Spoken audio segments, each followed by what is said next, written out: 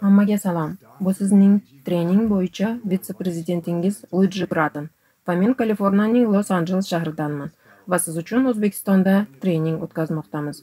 Avvalo, biz ushbu taqdimotga kelgan barcha mustaqil sheriklarni, mijozlarni, klub a'zolarini va barchaga xush kelibsiz deymiz.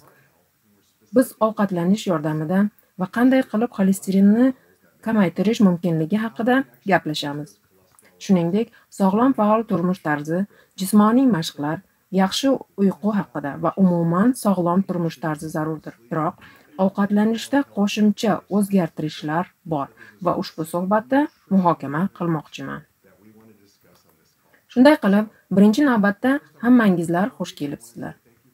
Vaqtingiz va e'tiboringiz uchun oldindan rahmat demoqchiman. Taqdimot sizga yoqadi degan umiddaman. Siz bu yerda mashg'ulot uchun o'tirganingizni bilamiz va umid qilamanki, tez orada men sizlarga Gerbalife mintaqasida sizlarni Gerbalife mintaqasida ko'raman.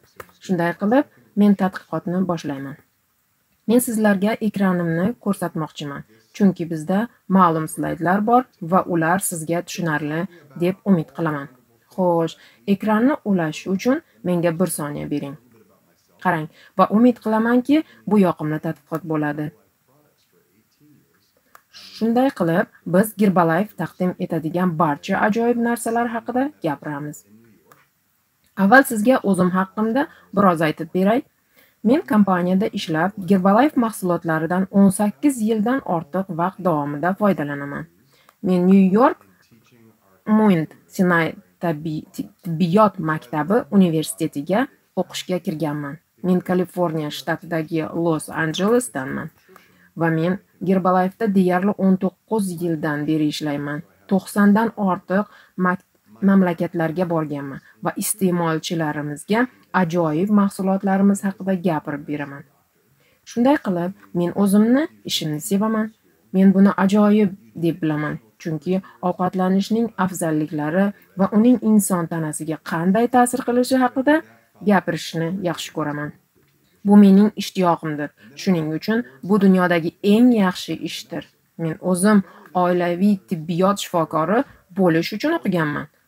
Bu shuni anglatadiki, tibbiyot maktabini tugatgandan so'ng rezidentura, internatura va ordinatura ga o'xshash qo'shimcha 3 yillik o'qishni bitirasiz.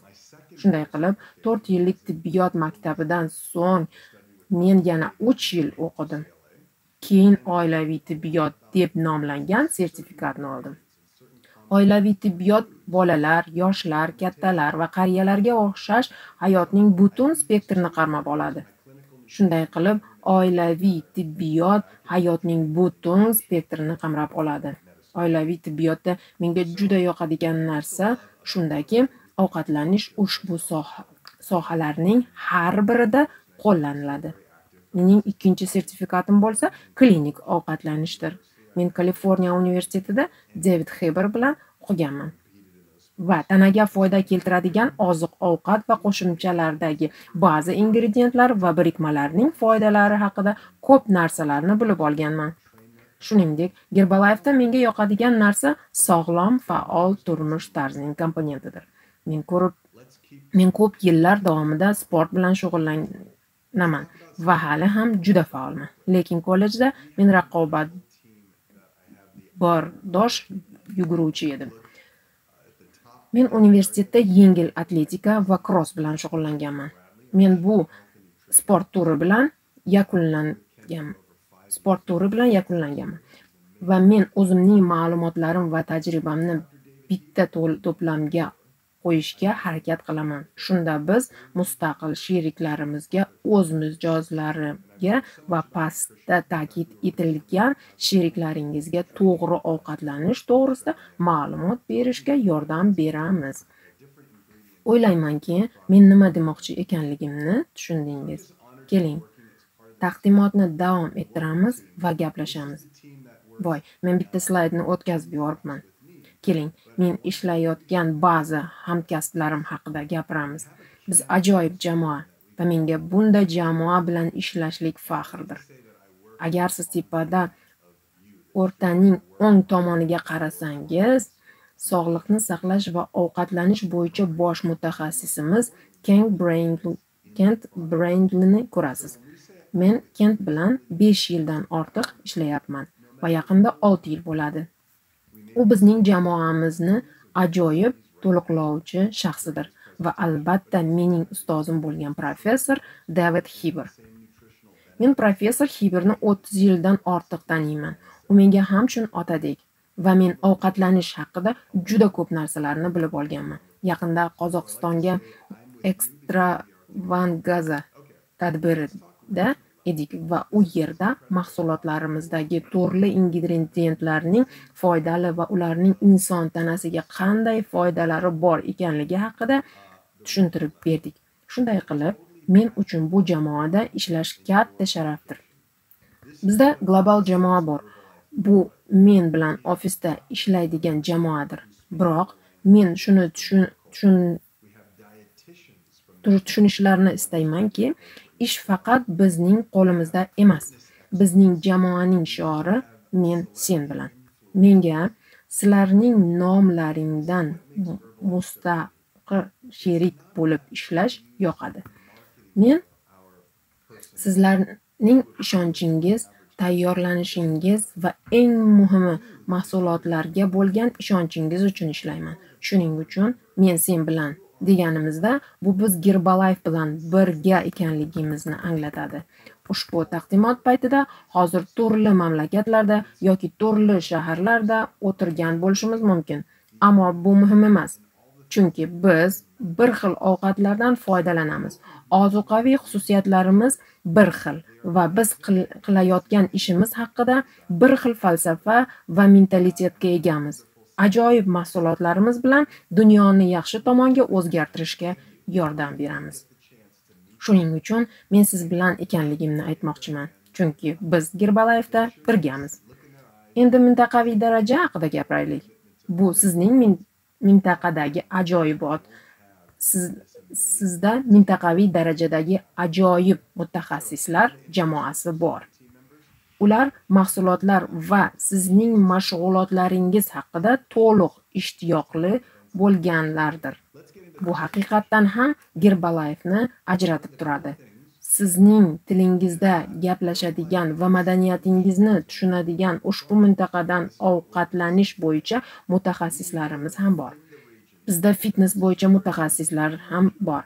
Bizda hatto butun mintaqada o'rta o'rgata oladigan mashhur shaxslar ham bor va bu Gerbalife'ni juda noyob qiladi. Biz oddiy mijozni jalb qilish uchun xodimlarimizning marketingidan foydalanishimizdan emas. Bu muhim emas. Siz hozir buni kuzatayotgan mustaqil sherik yoki imtiyozli mijozidirsiz. Siz jamoaning hayotiy quvvatisiz. Aynan biz sizga e'tiborimizni qaratamiz. O'rganish, innovatsiya va qilayotgan barcha ishlaringiz biz uchun muhimdir. Umid qilamanki, siz ba'zi mintaqaviy mutaxassislarimiz bilan tanishib olgansiz. Ular ajoyib shaxsdirlar. Men ularning ko'pchiliklari bilan Qozog'istonda tanishib olganman. Biz birga ajoyib ilmiy uchrashuvlar o'tkazgan, ammo iltimos qilamanki, agar siz ular bilan uchrashish imkoniga ega bo'lsangiz, albatta salomlashing, qo'l berib so'rashing va quchoqlashing. Ularning ko'ziga qarab, gerbalayevga sodiqligi uchun rahmat ayting, chunki ularsiz bizda bizning ishonchimizni oqlab beradigan ishonchli jamoa bo'lmagan bo'lar edi. Shunday qilib, men sizni jamoaning ba'zi a'zolari bilan tanishtirmoqchiman. Bizda har bir mintaqada juda ko'p mutaxassislar bor. Iltimos, keyingi safar biron bir tadbirda bo'lsangiz, salom yetkazib qo'ying. Mayli, keling, taqdimotga o'tamiz. Biz bilamizki, O'zbekistonda 50% dan ortiq semirish holatlari kuzatilmoqda va semirish tufayli yuqori xolesterin bilan bog'liqlik mavjuddir. Bizga 46% dan ortiq ekanligi ko'rinmoqda. Ko'p odamlar, "Ey Xudoyim, bu katta muammo" deyishadilar. Gerbalayevda biz doimo ijobiy fikr yuritamiz va yechimlar haqida o'ylaymiz. Qanday qilib biz odamlarga bizning mahsulotlarimiz, ovqatlanishimiz, turmush tarzimiz orqali yordam bera olamiz? va bu aynan bugun biz muhokama qiladigan asosiy nuqtadir albatta haqiqat shundaki o'zbekistonda ko'p odamlar ortiqcha vaznga ega bo'lishlari mumkin. Ular noto'g'ri ovqatlanishlari va kam harakat turmush tarzini olib borishlari mumkin. Ular sport bilan mashq qilmasliklari bo'lishi mumkin balki ko'p sigaret chekardirlar. Ehtimol atigi ular noto'g'ri turmush tarzi bilan mashhurdirlar. Biz bu ko'rsatkichlarni isloh qilishga yordam bera olamiz. Tekshirgan holatda kerakli qo'shimchalar qabul qilishlari muvozanatli tanovul qilishini rioya qilishlari shuningdek asta asta ularning holatini yakbora yaxshilashlari mumkin. Keling men sizga nima haqida gaplashayotganligimizni ko'rsatay. Aholining ratsionida foydali yog'lar mahsulotlarda vitaminlar minerallar va ozuqa moddalari juda kam. Shunday qilib bu yetarli emas. Bir vaqtning o'zida shakar yog' tuz nosog'lom yog'lar va nosog'lom oziqa moddalari juda ko'p. Bizda nomutanosiblik bor to'g'rimi? Biz yoga pozasini bajarayotgan muvozanatlashayotgan odamni ko'rib turibmiz. Mana nimaga biz harakat qilyapmiz? Biz gerbalayfda bu tomonga qarab intilamiz. Biz sizning muvozanatda bo'lishingizni xohlaymiz chunki siz muvozanatda bo'lganingizda barcha tana tizimlari muvozanatga tushadi. Ammo nomuvozanatlik juda oz miqdordagi ozuqa moddalar juda ko'p shakar yog'lar va tuzlar bo'lsa bu muammodir. Va aynan shuning uchun biz muhokama qiladigan ba'zi ingrediyentlar haqida gapirib o'tamiz. Endi asosiy savollardan biri biz muhokama qilayotgan narsalar kimga ta'sir qiladi? Xo'sh siz kimligingiz va qayerdan ekanligingiz umuman muhim emas. Sizning qomatingiz o'lchamingiz va yo yoshingiz ayol yoki erkak bo'lishingiz ham muhim emas. Xolesterin hammaga ta'sir qila oladi. Va biz hozir aynan shu bilan mashg'ul bo'lamiz. Chunki xolesterin tanadagi muhim birikma bo'lib biz uni tabiiy ravishda ishlab chiqaramiz. Lekin u hammaga ta'sir qila oladi. Siz ozgina ortiqcha vaznga ega bo'lasizmi yoki og'ir vaznga ega bo'lasizmi yoki sizga nisbatan normada? Biz aytganimizdek ozg'in odam bo'lishligingizdan qat'iy nazar siz juda yomon ovqatlanishingiz va yuqori xolesterin darajasiga ega bo'lishingiz mumkin. Va siz shuni tushuning,ki bu faqat bitta turdagi odamlarga tegishli emas. Bu erkaklar va ayollarga, turli yoshdagi odamlar uchun mm, odam odamlar uchun tegishlidir va yaxshi xolesterin darajasini saqlab qolib, dasturni boshlash uchun hech qachon erta emas. Shunday qilib, bu hammaga taalluqlidir. Bu asosiy nuqta hisoblanadi. Iltimos, kim haqida gapirayotganimizni o'ylab ko'ring. Xo'sh, xolesterin haqida gapiraylik. Xolesterin organizmdagi birikma ekanligi bilan ajralib turadi. Tanada xolesterinning yetmish besh foizini jigar e, ishlab chiqaradi. Endi siz xolesterin qayerdaligining kimyoviy tasvirini ko'rishingiz mumkin. Bu maxsus hujayra membrana ekanligini nazaringizga ekanligi nazaringizga tushadi. Mana devor bor. Agar xohlasangiz uyingizning ish joyingizning va yoki biror boshqa devorni tananing barcha hujayralarini qoplaydigan hujayra membranasi mavjud joy deb faraz qiling. Xolesterin bo'lsa tanadagi barcha hujayra membranlarining muhim qismidir. Bu juda muhim chunki bizga xolesterin kerak biroq kerakli miqdorda. Xolesterin d vitamini kabi ba'zi vitaminlar yoki estrogen va e, progesteron kabi ba'zi gormonlarni ishlab chiqish uchun ham muhimdir.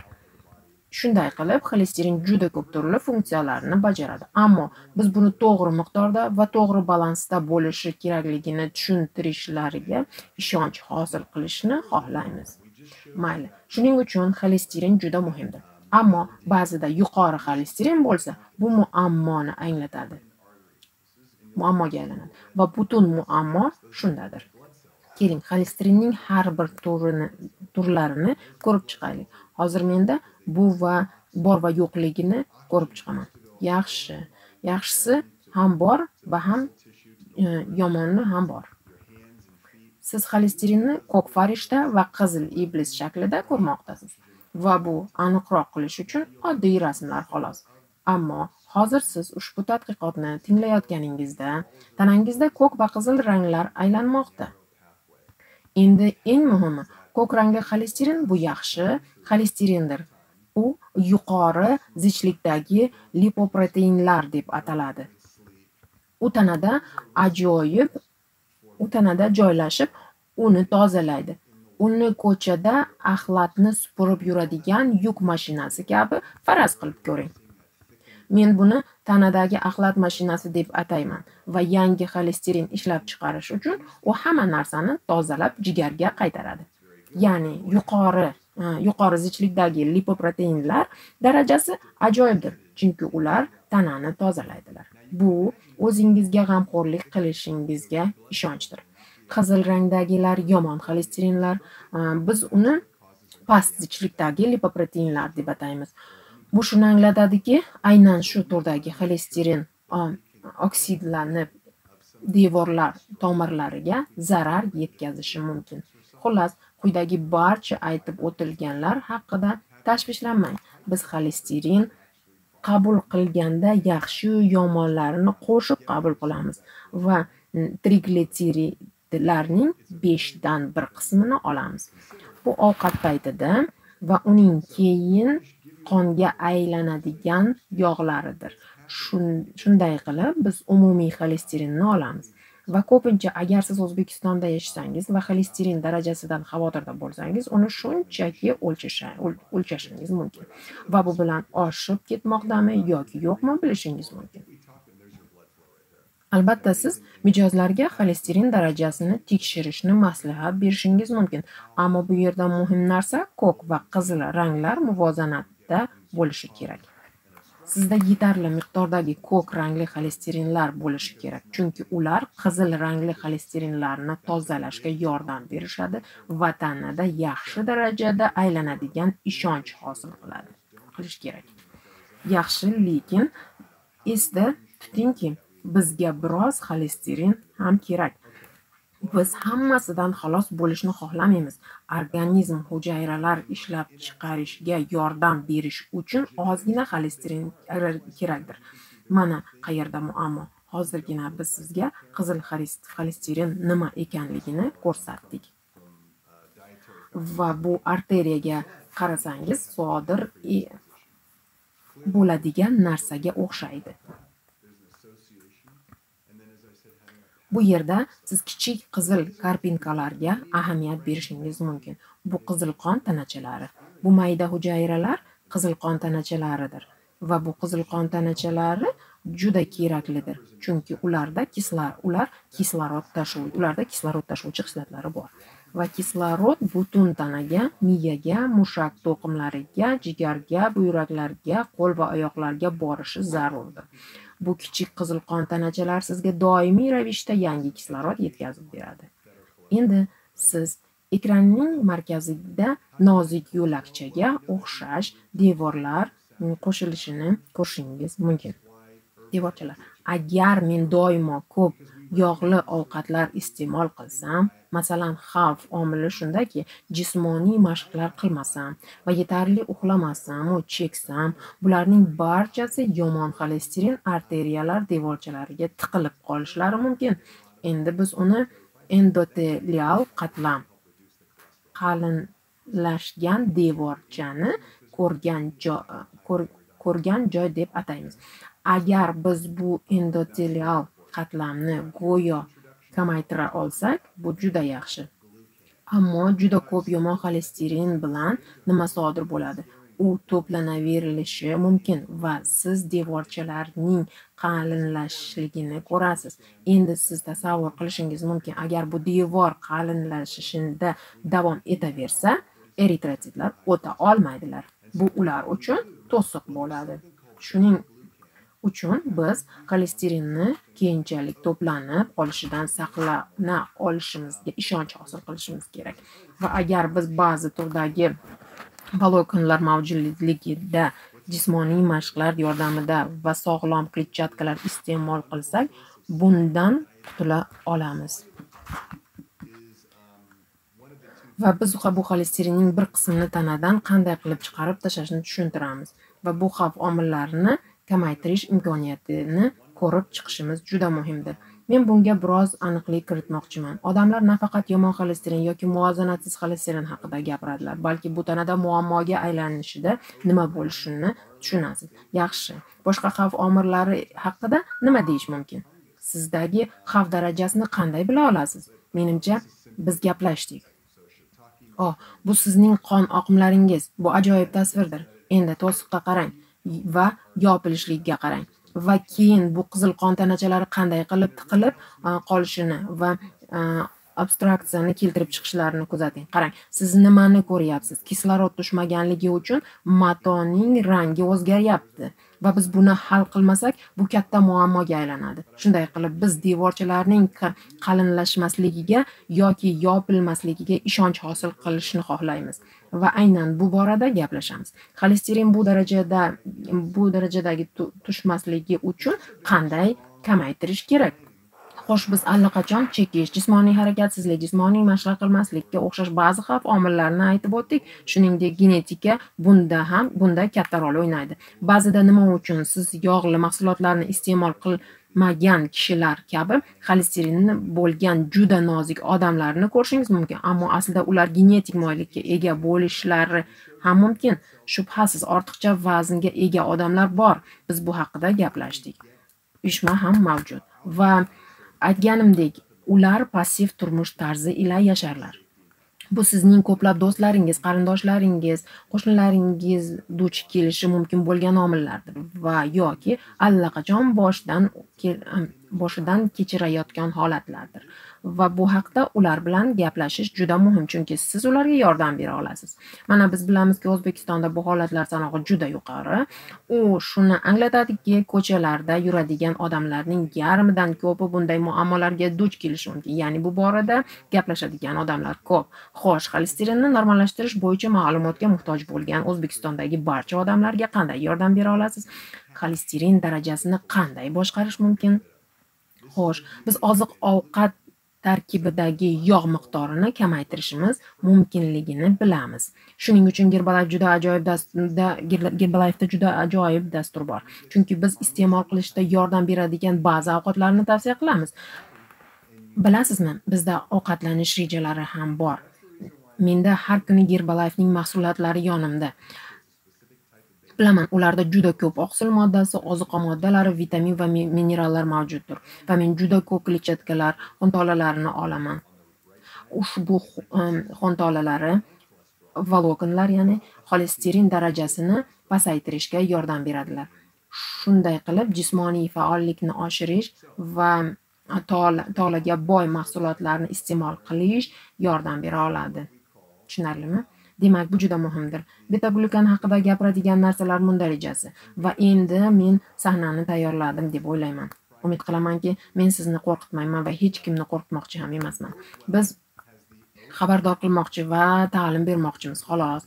Ammo o'zbekistondagi odamlarning yarmidan ko'pi ortiqcha vaznga ega ekanliklarini tushuntirmoqchi Tushunimiz muhimdir. Biz ko'p narsani bilamiz. Qirq olti foizdan ortiq yuqori xolesterin darajasiga egadirlar. Va biz nima qila olamiz? Xo'sh beta glyukan degan narsa bor. U bir xil mahsulotlarda uchrab turadi. Misol jo'xorida bilasizmi agar siz ertalab jo'xorli mahsulot bilan nonushta qilsangiz unda jo'xori tolalarining tashqi qobig'ida siz ushbu birikmani beta glyukanni topasiz. Beta glyukanda aql bovar qilmaydigan nima bor? Bu eriydigan xun tolasining ajoyib manbaidir eriydigan tolalar ikki turlidirlar. Eriydigan va erimaydigan ammo buni xolesterin darajasini kamaytiradigan yordam beradigan narsa deb o'ylang. Bu eng muhimdir va albatta bu sizni sog'lom iste'molingizga ajoyib qo'shimchadir. Shunday qilib ajoyib narsa shundaki betaglyukan manbai bug'doydan kelib chiqadilar. Men aynan jo'xori jo'xori kepagi arpa novvoy xamirturushlar va qo'ziqorinlarning ayrim turlarini eslatib o'tdim. Bu e, g'alati tuyulishi mumkin. Ammo qo'ziqorin shunchaki qo'ziqorindir. Maytaki va reishi qo'ziqorinlari va boshqa turdagi qo'ziqorinlardir.